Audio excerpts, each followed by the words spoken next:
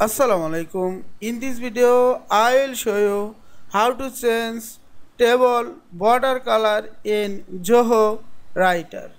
Let's get started.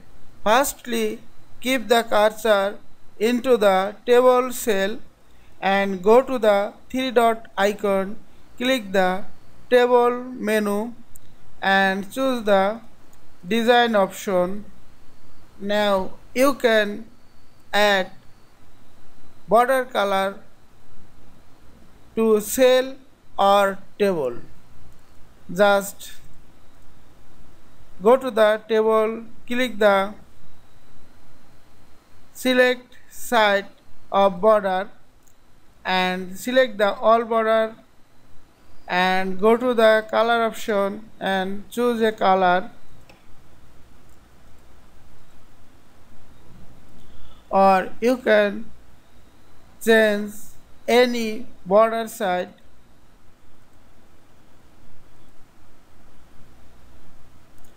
Or you can go cell just keep the cursor any cell and select the border side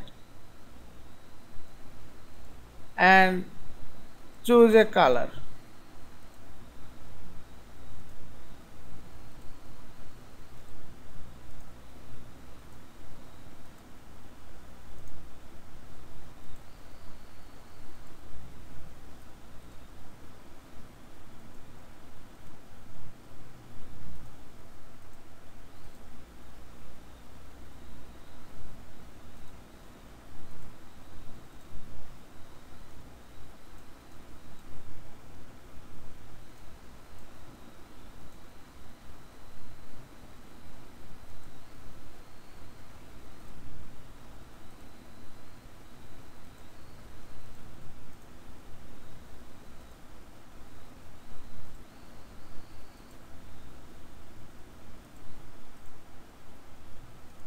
I hope you enjoyed this video. Please subscribe to my channel, like, comments and share.